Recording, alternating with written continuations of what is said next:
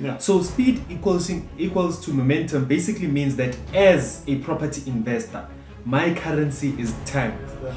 All they want is to get their hands on a deal, but not really understand that what type of financing did I secure to end this deal. So yes.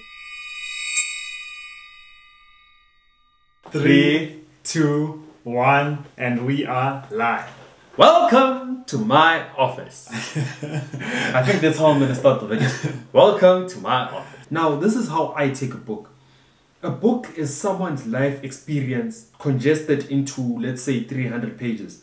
Now, if I'm going through that book and there's life lessons that I'm able to learn from that particular book, that puts me at a better perspective or it gives me better perspective than what that person had at that particular age. So now say for instance if Neo was writing a book of when he was 9 years old and a 9 year old reads that book right now, this means that he's able to read through what Neo went through and really understand that how does he position himself in a way whereby it's actually going to be putting him in a better position. So now Today, what do we do, man? What are we doing today? Today, we're discussing strategic books that are having influence towards our journey right now as property investors. So, we're specifically focusing on property investing and we'll be linking these life lessons. So, it was a chapter from a book or it was a heading from a book that I took. So, I have two and Lebo also has two. But before we really get into that level, I want us to really understand when it comes to books, we need to be very aware of where the person was coming from because sometimes a person might be coming from a position whereby as you mentioned that we have we all have different phases in life. Someone can be at the phase whereby i'm still starting out so i still need to fix my credit.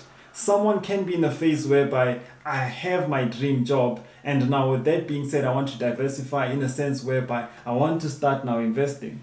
Whereby you can still have someone who's about to retire and now oh maybe they retired and now they have all of this cash and they're about to invest.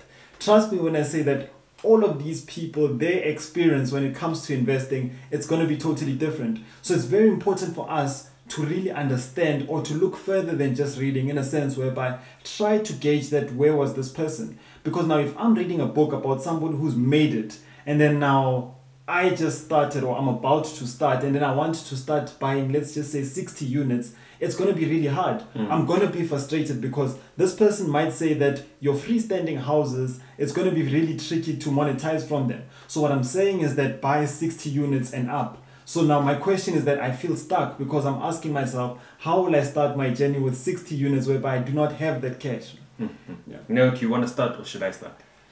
Start. Go. Go for it. So the first book that I read, right, yeah. it was this one over here. Okay. So this book over here, if I can just get it for the camera.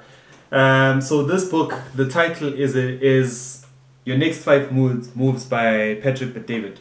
I mean, just the heading alone already tells you a lot, right? So they say that your average professional chess player knows their next five moves. So now by the time we set up everything, they know which moves they'll be playing. So now what happens most of the time is that we only have one move and we are reacting based on what our opponent is saying. Now, how do we actually implement this and put it into business or into uh, property investing?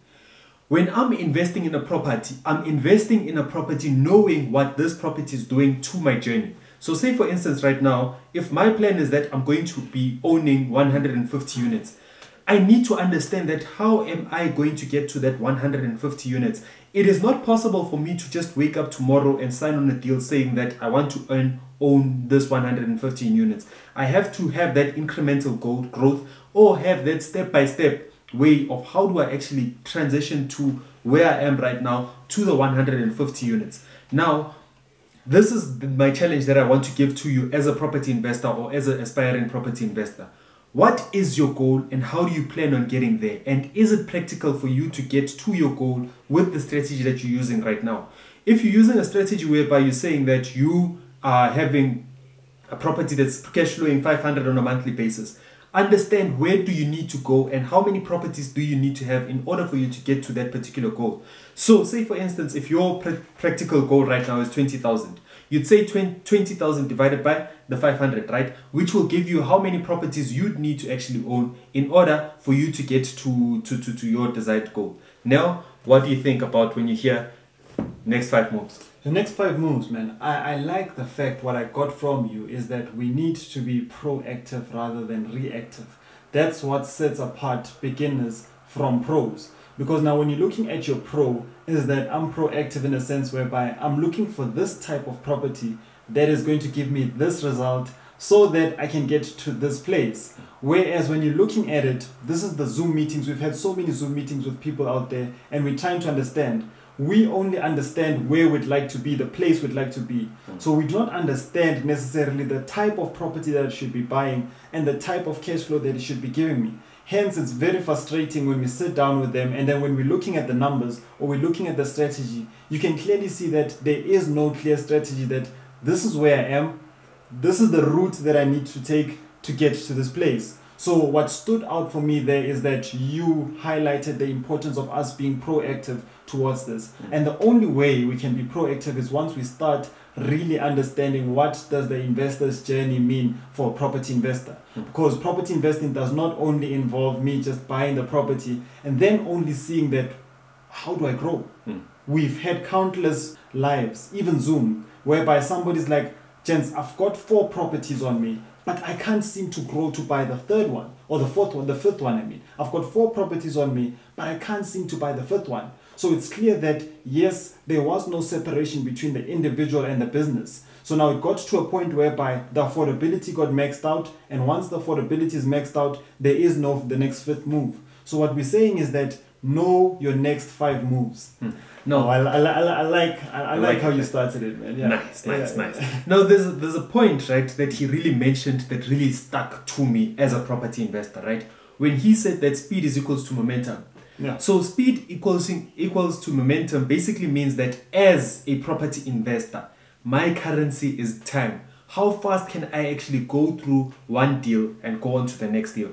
Now, I know a lot of people are like, um, I want to really take my time and really understand is this property the right property for me, or should I actually buy this property or not? Now, there was a situation that we were in whereby we saw a property on Property 24 on a Saturday, and we were like, okay, uh, we'll call them on the Monday, right? now, on Sunday morning, when we woke up, we were like, let's call them, but at the same time, we we're hesitant to actually call them. But later on in the day, at around 12 o'clock, this is when we call them and we're like, okay, We, we were bored then. We're like, uh, we're bored. We have nothing like, to lose. "Ah, I have nothing to do, man. To if they lose, don't, also if, if they don't answer, then it's not a problem. when we call the agent, the person closed on the Sunday morning, right? Now you can only understand that if we had actually signed on the offer before, on the Saturday when we saw the deal, if we had actually signed the offer to purchase subject to viewing, at least we would have had our skin in the game. However, now because we delayed, it actually kicked us out of the deal. So now this is something that I want to give to all property investors or make you understand this particular point.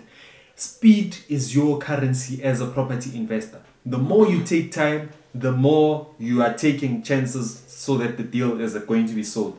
And I, I also have a confession. I have a confession. This Confess week, now. Confess. This week, so this weekend we're hosting a property workshop. So one of the estate agents who'll be coming through, um, it was more of she was like, "Gents, I've got a property which is way below market value. We said that we're flipping, right? So she knows that we're flipping. Like, gents, I've got a property which is below market value. Just tell me. So it's in, it's all the way in Pretoria and we're in Joburg, but we don't mind traveling because we don't believe that a deal is going to be in the next street.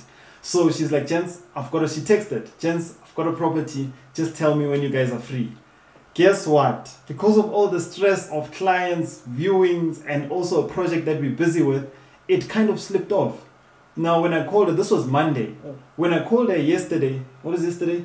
It was Tuesday. Ye- yesterday was Tuesday. Yeah, yesterday. Yes, feels like it's, it's already Saturday, right? so when I called her yesterday, that's this is one day. This is one day. When I called her yesterday, I'm like, I remember that you sent me a text about a property that's worth three hundred thousand. It was going for 300 and 300,000 and you could sell it at about six hundred thousand.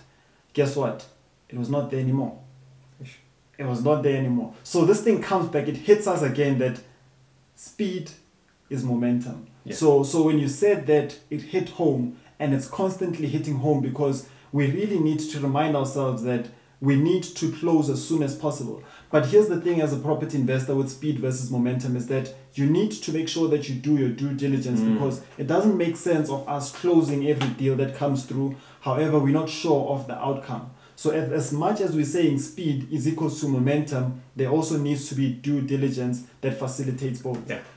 No? Yeah. Which one are you speaking about? So the second book that we're speaking about is um, the 90 rules for entrepreneurs. So this is the one, 90 rules for entrepreneurs. Yeah. The reason why I like this one, the reason why I like this one is that it speaks a lot about the mindset. As you can see, this is Marnas. He was Shark Tank, right? Yeah. Shark Tank. He's got uh, one of those globes attached to his hands. I'm hoping one day you're gonna be able to pull this stunt off. Of globes on the. Yeah. So when it come when it came to this one, right? When I was looking at rule number twenty one to be specific, it said that understand your numbers. Hmm. Now, here's the thing when it comes to understanding your numbers. A lot of us want to become millionaires, or a lot of us have this goal that I want to reach fifty thousand by the end of year five. Now, what separates people that will hit that target from us just randomly selecting a target is people that know their numbers. Reason being, once I start understanding numbers and once I start opening myself to, you know what, I'm a property investor and I might have not loved maths, I might have not loved balancing, but now I'm forced to because at the end of the day, whatever I invest in, it needs to get me to that goal. Because right here, what we're doing is that we're not setting goals that will make people excited. When I'm sitting at the price, then I'm like, Jess, I'm gonna be a property mogul. And then they're like, What do you mean property mogul? I'm gonna have 20 properties in the next five years. But now the real question is, how will I get there? So if I do not understand the basics of numbers, that's when I can get in trouble. Because property investing involves a whole lot of numbers. Before we even go anywhere, there's something called leveraging. Now, once I get to understand what leveraging means and also debt again, once I understand the power of debt again, I'm able to now position myself that do I really need to take this type of loan for this property? We did mention that there's there's over 20 there's over 20 banks but now there's also 20 banks that are that are offering fundings for, for, for property investors, right? But now here's the thing.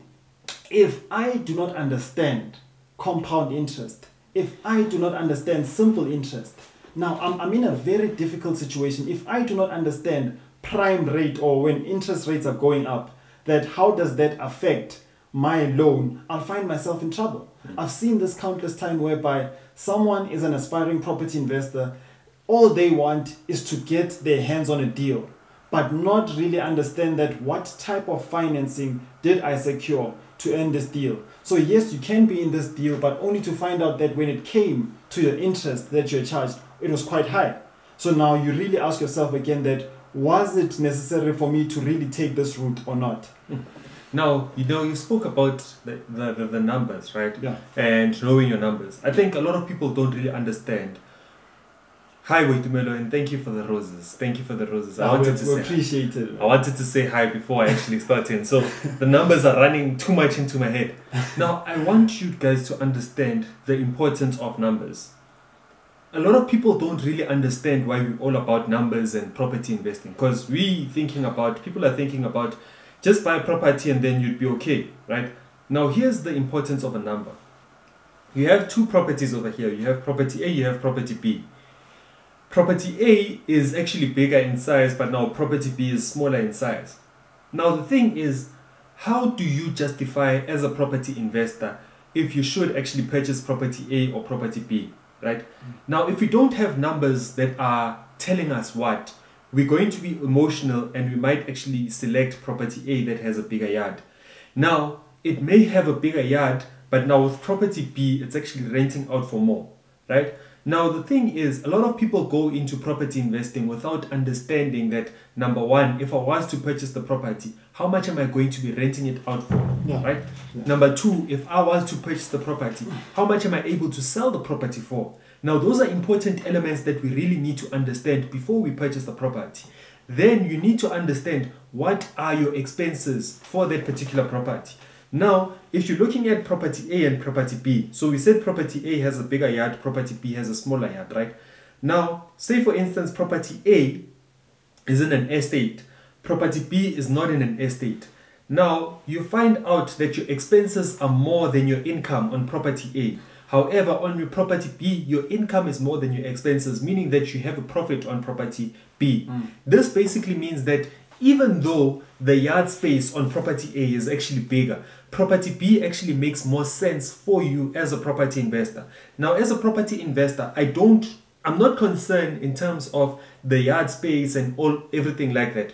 What I want to know is that for every one rent that I'm putting into this property, how much am I getting in return? Now, if the returns don't really make sense, or if I can't actually run my numbers and know what is my ROI and how my money or how hard my money is actually working for me, that becomes hard for me to determine if I should actually be investing in this property or not. Now, that's why I'm saying that numbers are really important because you're able to then say that is this a property is this property right for you to invest in? Once you understand your numbers you're good in property investing. So I'd urge people again, stop buying because you saw somebody's face on an advert. Stop buying because a friend bought eight of them. Make it make sense for you and that goal that you want to achieve. And the only way you can do that is through understanding your numbers. So if you want more of this and understanding or full breakdown of this is that we're hosting a property workshop on the 1st of, of April. So please make sure please make sure that you come through because it's going to be epic. The things that we'll be speaking about are really profound when it comes to us as property investing. How do we position ourselves into this market, man? So if you want the link, you can go to our bio and then it will be there.